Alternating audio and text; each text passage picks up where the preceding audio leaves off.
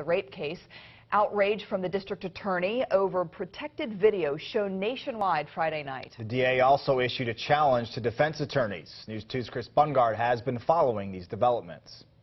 In the days since the verdict finding two ex-Vanderbilt football players guilty of raping an unconscious female student, there has been almost as much drama as there has been in the 12-day trial. The latest comes as video under seal by Judge Monty Watkins played a prominent role in an ABC 2020 piece aired Friday night. Who leaked it? Could showing the pictures prejudice the case of the two remaining ex-Vanderbilt football players charged in the case? Nashville District Attorney Glenn Funk minced no words about how he felt. In a statement, he said, the district attorney's office is outraged that the video has been leaked. It is a violation of the court's protective order, another attack on the victim, and it could impact the co-defendant's right to a fair trial.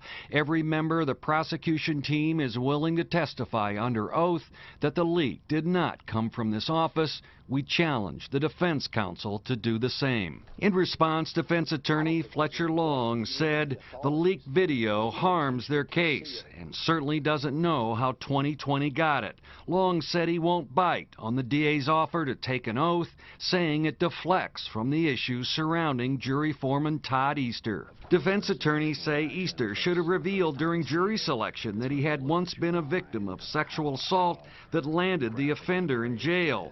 But his attorney says she would not characterize the incident that way. We'll likely learn more when defense attorneys file their motion for a new trial, which may not come until Brandon Vandenburg and Cory Batey are sentenced on March 6th.